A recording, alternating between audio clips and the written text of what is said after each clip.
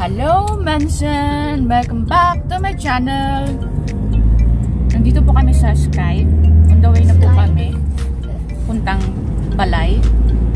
Samahan niyo po kami mag-sightseeing. Para naman makita niyo po ang konting view ng Netherlands. Pasok! Ayan po. Ito kami sa highway na ba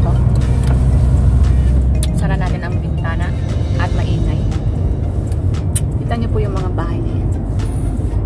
Mga farm po yan. Kadalasan po dito sa Netherlands. Mga nagmamay-ari po ng mga malalaking bahay, mga farmers. Yayamanin sila. Diba? Maganda po ang panahon ngayon. Sikat na sikat ang araw.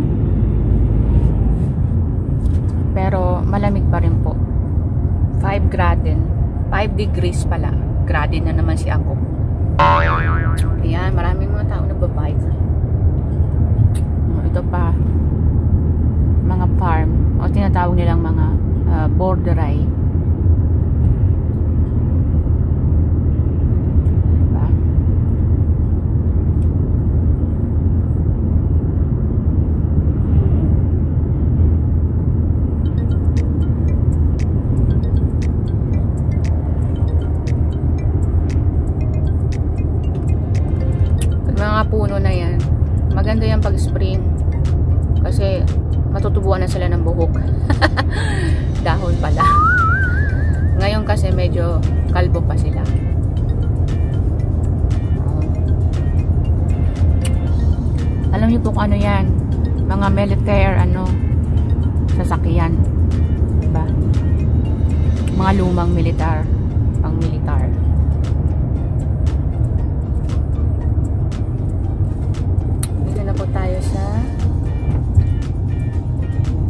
Rotonda. Yan po tinatawag nilang Rotonda. Nakikita niyo po yan.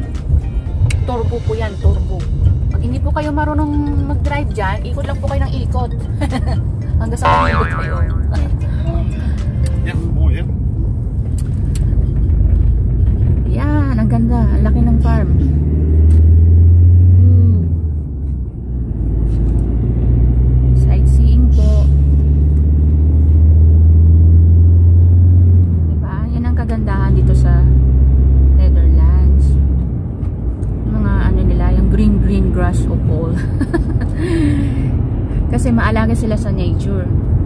Nagpuputol naman sila ng pero nagtatanim din po sila. Dapat ganun din sa Pinas, putol tapos tanim. 'Di ba?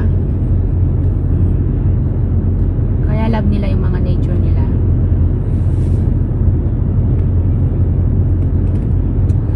Ang Netherlands po ay meron po siyang 12 na probinsya. Ako po ay na- nandito sa North Brabant. Maliit lang ang Netherlands, Netherlands pero least maganda. Hmm? Kulay yata yung nakita ko. Focus natin sa taas para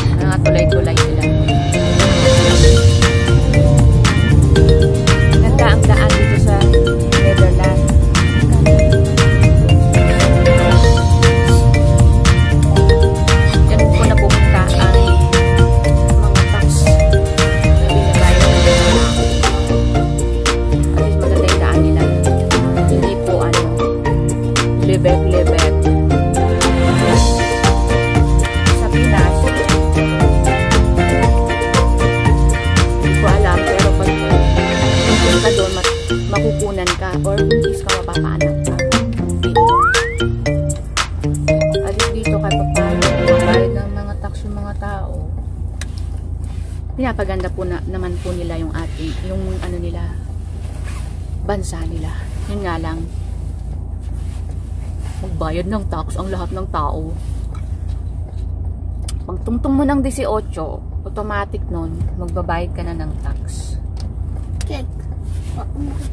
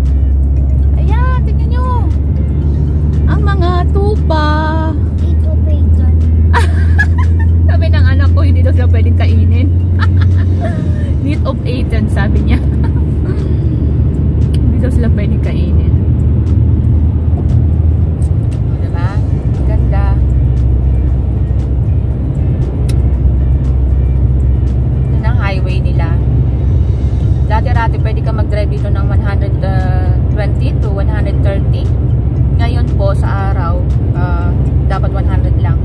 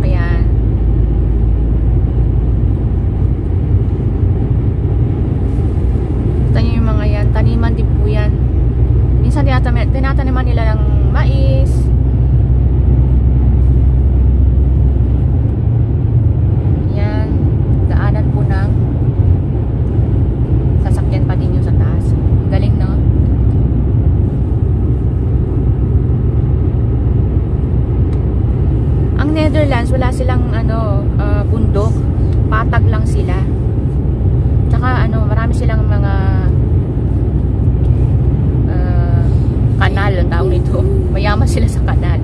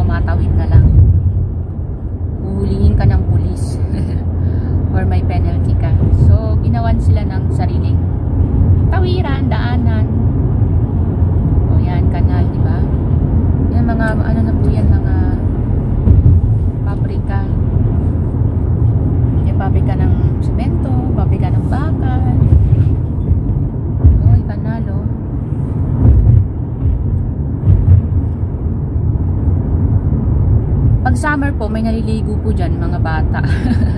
Tumatalon. Pero para po sa akin, madumi po yung daan na yan. Ay, yung da, tubig na yan, daan tuloy. Sorry. Tsaka malamig ang tubig.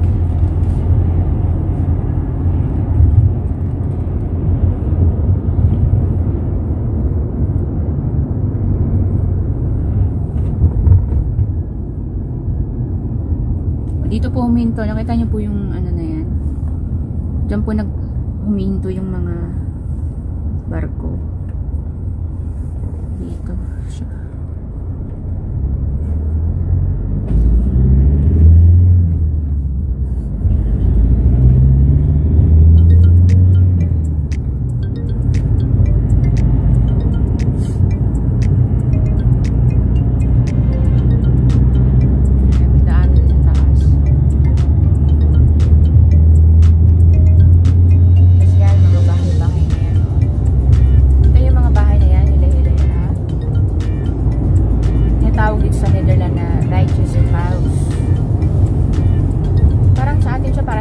Apartment. No? Pero pwede rin pa po yata yan ano eh, ah, rent or bili, ganyan.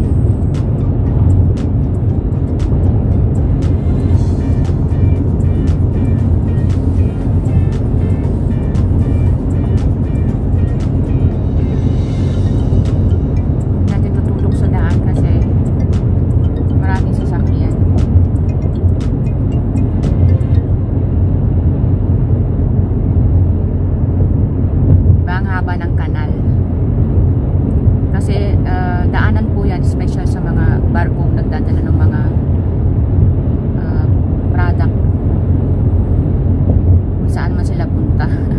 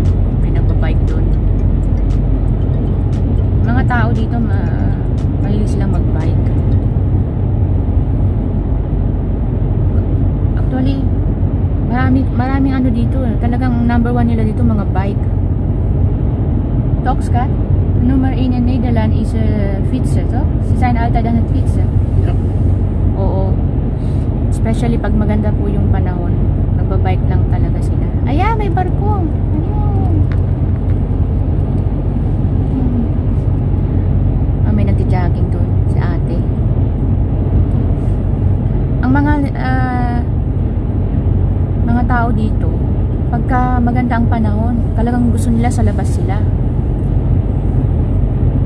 Lalo na pag sikat ng sikat yung araw, Diyos ko, parang mga langgam yan. Nasa labas. Samantalang tayong mga Pinoy, pagka sumikat ang araw, takot na takot. Nagtatago. Dito hindi. Pagka once na sumikat ang araw, nako, makita mo mga tao dito. Nasa labas. Eh, nakita niyo po yun, may mga nakahilera na ano, mga puno. Ayan, pinutol na nila. Yung siguro yung mga ano na matatanda na. Pero magtatanim din po yan sila. Putol tanim sila. Dapat ganun din sa Pinas. Mahalin natin ang nature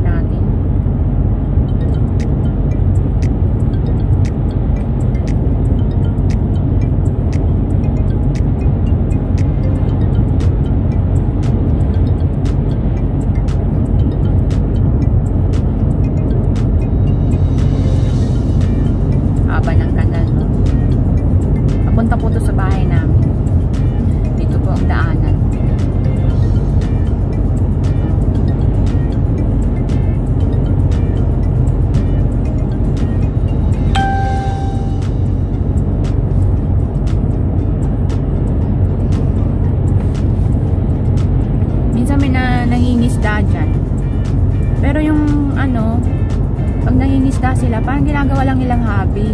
Hindi naman nila pinakain yung isda. Yung parang, ano kasing tawag doon? Uh, ginagawa nilang sport. Yung pangingisda. Tapos pag nakahuli sila ng ma- malaki, yun, malalaking isda. Parang ano yun na yung pinakaano nila, reward nila, yung makahuli sila ng malalaking isda. What is, uh, who know the fish here, uh, uh, Fanga, as the, as the really here, uh, fisher? Goudvissen, Goudvis en, Baars, en, de, en, en de grote, grote vis. een meerval, catfish. Oo, catfish. Yung catfish daw po. Sabi ng banana ko. Pero bago sila ma- mamingwit dyan, bago sila mangisda, kukuha muna sila ng ah, permit sa munisipyo namin. Parang pinaka ano, oo, sa munisipyo. Hindi sila basa-basa pwedeng mamingwit ng walang permit. Pero libangan lang, pagka nakuha na nila yung isda, babalik din sa babalik din sa tubig.